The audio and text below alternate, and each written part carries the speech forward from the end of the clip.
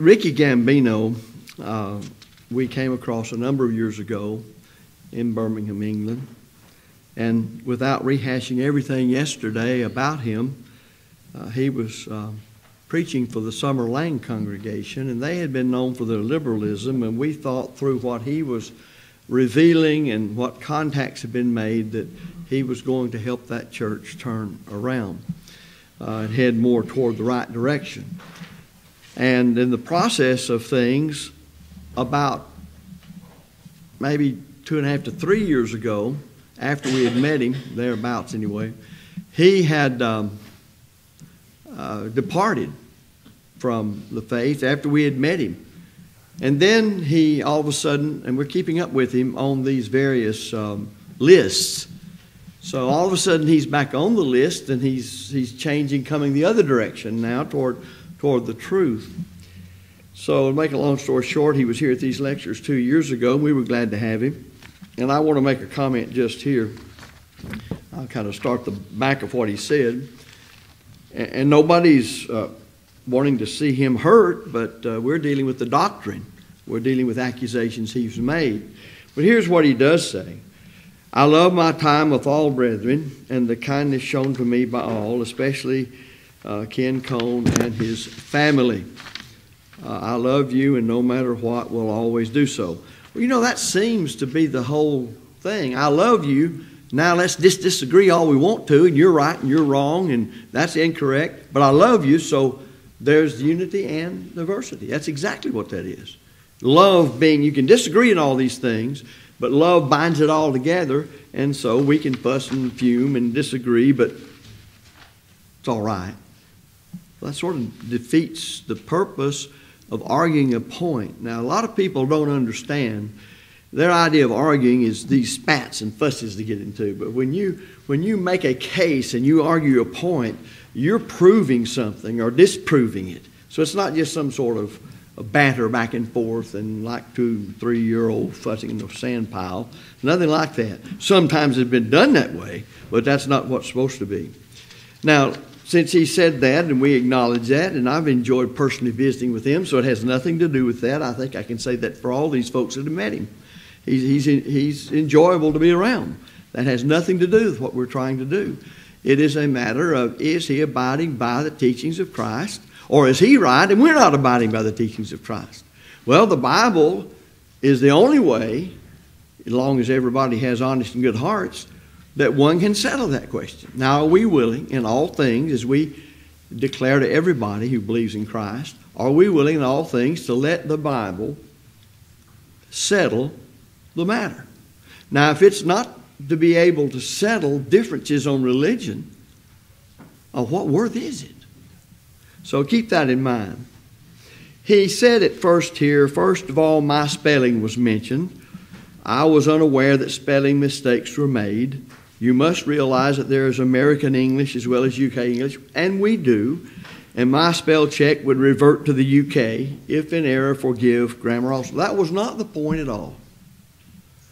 No one was picking on his spelling. We all, when we ty- typing on these lists, it gets rather interesting. Um, you probably need to study Greek and then write it backwards to realize what some people write when they make mistakes on these things. Yours truly included, and everybody writes a shorthand or garbly whatever. Well, that's not the point. The point is, if you have the work of the Holy Spirit in you, like Paul and others did, then I don't think you ought to be making any kind of mistake when you write if He's guiding you in writing what it is that you're writing. I don't think there was any mistake in any of the original autographs of any kind whatsoever of the Scriptures. I don't think there were. That's the point I think Michael was making. He might want to comment on that more, but that's that's all there was to it. So we weren't just picking on anybody from that standpoint. Then he said it was made mention it's easier for me to sit behind a computer to ask questions. Well, it is. The open forum was for people like me to ask questions. No doubt sitting behind a computer, I thought, question mark. Again, he misses the point. The point was is that we were willing to meet him in public debate face to face in Birmingham, England, and he would have a chance to deal with us. We've dealt with him before, but he that's the only negotiations. And tell me if I'm wrong, Ken. We entered into negotiations with the idea of a public uh, debate, not a sit down Bible study. Now, nobody's opposed to a sit down Bible study. We have had them with him. That's the way we met him and way things started. I would think that during the time he was with Ken, there were discussions between one another on various topics. Well, that's a form of Bible study if that's what you're trying to do, understand the Bible in those discussions. So he's missing the point there. Uh, yes, eh, we want everybody, and I hope they're listening now, we want everybody to join in through the computer. We invite questions in, even as these have come in. But he had the opportunity, since he was condemning us for weeks on end on these um, forums, or not forums, but these lists, that he, that's why we approached him and started negotiating with him. So at that point, he misses it here. In relation to me not wishing to meet brethren, this is his other point, uh, when they were over, that is in fact not true. I said I would meet with brethren to discuss issues. Now let's stop right there. The issues are already being discussed online and had been for many weeks. That's why that I got a hold of Ken and I said, We're going to be over there. I can try to stay longer, uh, but we've got to see what he's going to do. We went so far as to say, because things operate different in the way people do their whatever over there, we said, Well, we can have a debate like we had over here Monday, Tuesday, skip Wednesday, Thursday, Friday. I nearly knew that wouldn't work because of the way things work over there. But then we said, okay, uh, if you can't do that, then we will have debate just on the weekend. But we're going to have four sessions. You're going to be in the affirmative, and I'm going to be in the affirmative, and we have a full discussion. If I remember correctly, and I think we still have all these emails, I said I will I will debate on Saturday morning, Saturday afternoon, Saturday night, and one time on Sunday and wind it up. We offered him that. And then he says, though, uh, I said I would meet with brethren to discuss issues. And then he acts like it's in more or less a private sit down. We never approached him on that. That was already taking place, and he knows that. He says, Now, if I recall, Ken was over at the time, and a time could be arranged. I gave my reasons with proof. I don't know what that means, other than his job, which, by the way, he's a policeman, had different time changes. He says, I gave my reason with proof uh, why I could not meet at that time. But I said I would meet with the brethren here who had contact with him to go over any issues. No mention was made about those overstaying longer. That means past the lectureship that we go over there to. I won't go into detail of this, but can if you wish. Um, that's just not the way it was, and it's in print. It was a matter of a public discussion and a formal debate thing, and that's the way he was approached, and it's in print. And the proof is, is that's the way it was. Uh, I never had in my mind, and we did not present it to him that way, and the record still reads that way, that we would enter into some sort of discussion privately. Uh, we could have, but that was not what we proposed. Now, he says something here you all have to deal with. I don't know what he's talking about.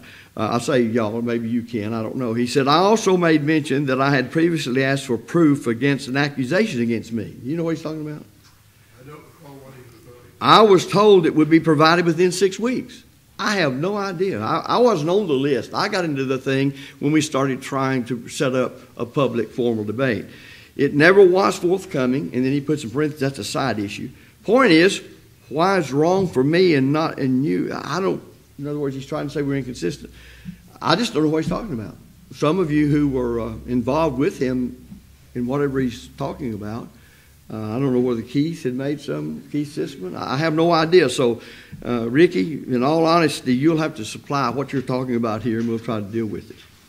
Uh, then he comes along and says, uh, on the instrumental music, I felt the answer at the most was weak. Well, it doesn't make any difference how people let me just say this how they feel about it. Uh, you know, to prove something is not necessarily to prove it to a certain individual. You can prove something and prove it as well as it can be proven. Doesn't mean I proved it to you. For all sorts of reasons, it might not be proved true to you. Let me ask you this Did Jesus Christ, in the record that we have, Matthew, Mark, Luke, and John, of his life, did he prove himself to be the Son of God? What did the uh, scribes and Pharisees and Sadducees and chief priests think about it? Well, does that mean because they didn't accept and it wasn't proven to them that he didn't do his job to prove? John uh, 20, 30, and 31 says he did, and the miracles did it. So he's got to understand just me to say, well, I just don't think that did it. Well, you know, a person can make an argument, and every time he gets through, he says, well, I just don't think that did it. That's convenient. Uh, he says, oh, uh, concerning the Old Testament, it was said, and you agreed that instrumental music was in the Old Testament and heaven, but not in the New Testament church or even today. Well, I thought that was answered. I thought it was clear. In fact, um, Daniel went into detail on the matter of uh, things in heaven and so forth. We emphasize we're to do only Colossians 3:17 what's authorized by the New Testament. That necessitates knowing how the last will and testament authorizes us to do anything. And it also shows we have to know how to determine what is obligatory and what is not. I thought all of that stuff was discussed. And besides that, let me remind Ricky, you've got in your library, I know because I saw it, enough information to explain this to you without us having to do it. You can read it all day long every day. It's there. I saw it, on, unless you've thrown it away. Uh, it's there. I saw. In fact, you'll remember, Ricky, that I told you you had some very good books. That if you'd stay with those books, they would help you a whole lot. So um, I don't know what he's doing when he says that. And he st- goes ahead and says, I still don't see where it was ever stopped. That is, what was in the Old Testament or what he thinks is in heaven. Uh, well, I can't help it. Don't see. Look, I remember one time it was being told that there was a when Brother Hardeman was over at Freed-Hardeman, This goes a long time ago, and he taught a certain class. And the person that was telling me this was in that class, and he was trying to show from the New Testament that a part of Christian conduct and the laws that govern how we live would not allow for Christians to participate in uh, the dancing that normally goes on. And this one student kept saying, Well, I just don't see it. I just don't see it. Well, he had in that class another student, a, a girl, who had uh, been born blind. She had never uh, had any sight. So he had her, it was on a beautiful, clear day, he had her walk over to, called her name, said, Would you go over to the window?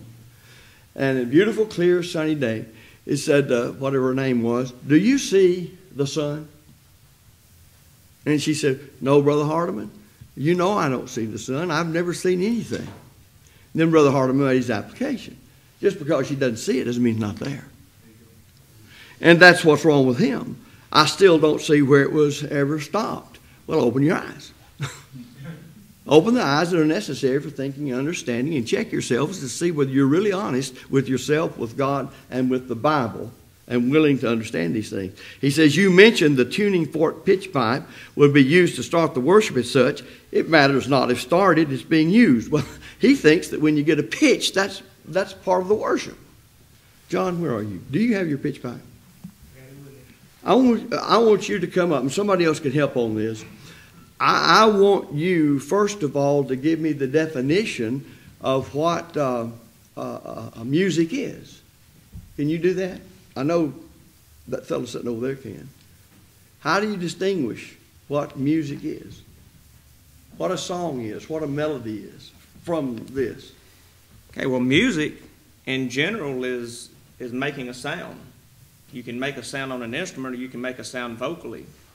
Uh, if you use a mechanical instrument of music, you're making a sound with a mechanical instrument. Okay, this pitch pipe or case a tuning fork, is a type of instrument. If you've never seen a little pitch pipe, this is a chromatic pitch pipe. I have a C to C. They're, they're in different scales. C to C is most common, meaning it starts with middle C, if you know anything about music, low C, uh, which we consider lower C, and goes to a higher C. It's chromatic in that it, it does not just give you the main note through the eight note scale and then on back to uh, C again. But it gives you the sharps and the flats in between. Now, if you take this little pitch pipe and you try to play a song on it, you're going to have a very, very hard time. Can it be done? Very slowly, it can be. Can you do it and keep up with the tempo of a music? No, you can't. I could take a trumpet or I could take a piano and I could do that. But you cannot do with this chromatic pitch pipe. For instance, if we take a song, whatever song it may be, Heaven will surely be worth it all. This is in the key of F. I can take my pitch pipe, blow an F. Hmm. I get that pitch. The pitch pipe, folks, goes back in my pocket. Ricky, if you're watching this, we're not playing during the singing. The pitch pipe goes back into my pocket. I can then get my songbook and begin singing without the aid of mechanical instruments of music. We sing vocally, verbally, as Ephesians 5.19 and Colossians 3.16 not only so directs us, but commands us without the aid of instrument. The argument he's using is totally false to begin with, and people who try to push the instrumental music argument fail to understand a lot of things about the Bible. First of all, authority. Secondly, even logic. Matter of fact, Rick, if you were here, you could stop by the book display. Terry has several logic books. I think might aid in that.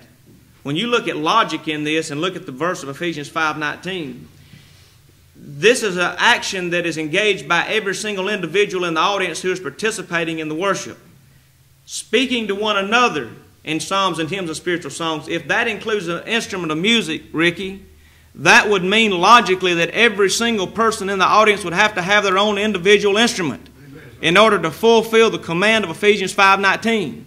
So if you claim that you can worship with the instrument and you can do so acceptably to God, that would mean wherever you're worshiping, every individual must have their own instrument or they're still in violation of God's law if you want to use that to uh, justify the instrument. Do all members where you attend, Ricky, use an instrument or do you have one or maybe a small band playing? See, logic still comes into it. If you want to justify the instrument, then you better justify it according to the way the verse is laid out in Ephesians 5 and Colossians 3, or you're still in violation of, of what you're even believing yourself, which is, by the way, false.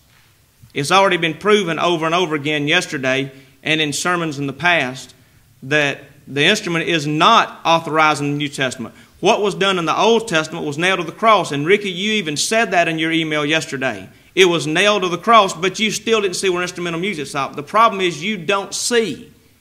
And if you would open your eyes spiritually, you could see, but you're blinding yourself and you don't want to see. That's the problem. And I don't know that any matter of talking here today or even for the next five years would convince Ricky of any of this until he chooses himself to open his eyes and honestly study God's Word without prejudice of what others are doing or what others are saying or some false belief he has in his own mind. Let him look at the Word of God and open it up and quit using emotional arguments of I don't see, I don't think, I don't believe. Let's get back to what the Bible says and let God say, let God show. And He has through His Word, if you just look at it. I don't know if that answered that or not, but I went into a little Well, bit. uh, that's fine. What, what really with his deal here, when you, the, the, the uh, pitch pipe knows when to shut up, Yeah. And he doesn't.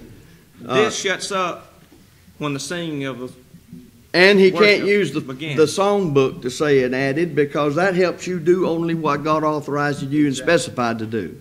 That's how you know the two, difference between an aid and addition. Uh, one other thing to add a little more onto it, as far as the, uh, and I don't remember the dictionary definition, but uh, when it comes to uh, music, uh, as far as uh, a melody, it takes an arrangement of notes. That thing was never meant. And besides that, there's not a soul on this earth who can sing without pitch. It may be the wrong pitch, but you can't sing without pitch. It's an impossibility. Now, that thing helps us get the right pitch. And some people can go do, so, re, re, do, and pretty well do it that way. Some people take um, um, tuning fork, and uh, they can hear it. You can't hear it. You try to take that thing and play a certain arrangements of notes on it. It was never meant for that. So Ricky doesn't know what he's talking about along that line, and evidently he won't let some of us help him to understand that. And that's all we're trying to do. David, you mentioned, uh, well, I'm just gonna make a comment. You, you touched on it. I know it. on, uh, the difference. Bruce Dalton, Huntsville, Texas. Uh, you touched on the difference between uh, aid and addition, but I think we might need to help him understand a little bit what that is.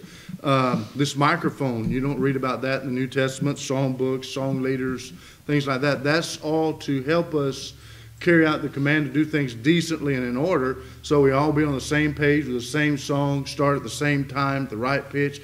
That's the same area in which the pitch pipe falls. The difference between a pitch pipe and a piano is the matter that the pitch pipe is an aid. It helps us to carry out the command in an expedient way, and a piano is an addition because it's another kind of music. And again, we could get into the difference between subordinate and coordinate and things like that, which is kind of confusing if you don't have time to go into it. But the, the fact is, a piano is subordinate or coordinate with singing. Okay? We either sing or we play. They're the same thing in relation to the general command of make music. Okay? Do we understand that? They're equal in the idea of making music. What the problem is, God said very specifically the kind of music we're supposed to make in worship, and that's to sing. Now that's what we that's what we're dealing with here. Pitch pipe helps us carry out the commandment to sing, and instrumental music is an addition to what we're supposed to be doing, which is sing. Let me see if I can illustrate. God made me with eyes to see. What do these glasses do? They help me see, and that's all they were ever made to do. It's not another kind of sight if there was something. And so that's just simply an aid. And that's what we mean by saying the book. In fact, often when I'm preaching on, uh, on this, I'll ask the song leader, Are you authorized? Because you can't read of a song leader in the New Testament. Well, then where's our authority for it? Colossians 3.17 says we don't have a song leader. Because we're to do things decently in order. What is finger pointing over here? Get you to see. That, we won't go into that. Go ahead. Mm. I Music want to see. Go ahead. is the expression of ideas and emotions in significant forms through the elements of rhythm, melody, harmony, and color. A pitch pipe cannot do that by its very nature. All the pitch pipe does is it gets you a note to begin the melody. It doesn't play the melody. It gets you a note to begin to play the melody. And that's the reason we say the pitch pipe knows when to shut up. It, it gives us that. Okay. You brought this up, but 1 Corinthians fourteen forty does say, let all things be done decently and in order. We read 1 Corinthians fourteen fifteen that we're to sing with the Spirit and sing with understanding. If we're doing these things and worshiping God as we should, should we not do our very best in our worship to God? Okay, if we're going to do that, then we want to make our singing to be as appropriate as possible. The Bible doesn't say we have to have the perfect pitch, and some people don't. But when we're here to do our very best in our worship and have our mind and our attitude in the right place, she would not want to do the very best. We're using a pitch pipe. All we're doing is pitching that song correctly so that we can sing and make melody in our hearts. But it goes back to the word sing. Uh, Daniel can go into the Greek on the word psallo. All of us know it, but I know he can go in far more detail than any of us here probably and tell us more about the word psallo. But it does simply, in a basic definition, to pluck, twitch, or twain, Thayer said the strings of the heart. Doesn't say anything about an instrument. It's the strings well- of a heart. well, the instrument is the heart. But uh, I'm referring to a mechanical instrument. It doesn't say to do that on a mechanical instrument. It tells us the strings of our hearts was plucked. Okay, we got about five minutes before we're supposed to go back there. I want to move real quickly over to the other subject that started a lot of this, and that's to have to do with miracles. And we, I don't know if we'll get as much detail into it as we did mechanical instrument music or singing. But he says on point five, I have never said that I could perform miracles, but you said that I could. I ask a question about them. Let us understand also, as you made mention, there were certain gifts for certain people. I agree. Uh, Paul himself was either unwilling or some such reason why he did not heal a companion who was near death. No person who claims to have the power of healing would should say it's them that are doing. it. Well, we don't claim by their own power. Anybody did miracles. I have never come across anyone who states that. Well, fine, I haven't either. There are many reasons why some are healed and some are not. Why God answers some prayer and not others. Now, this is where I wanted you to look, Ken, on that. What they what do they say concerning the church where he's a member? Concerning miracles, the work of the Spirit. Okay, under the section uh, we believe, uh, it says concerning in the gifts and ministries of the Holy Spirit given to individuals and to the church. These ministries include apostles, prophets, evangelists, teachers, and pastors. Okay, let me just go ahead then from there. Well, okay, you're in fellowship with those who make that claim. Now, I think I can conclude that without abusing what he said. Well, then you just have one of them that you know yourself by your own testimony works miracles as miracles are defined in the New Testament, as Paul did, as Peter did. Uh, whether it's speaking in languages you never studied, raising the dead, uh, anything like that. That's what we mean by miracle. We went into that in detail yesterday as to the definition of a miracle and what how it's used today. So whether you can or not, you're with those who say they can. Now, do you believe they can? You're with them. Do you believe they can work miracles like Jesus or like the apostles or those they lay hands on? Uh, evidently, you do. So this other stuff is mere just window dressing.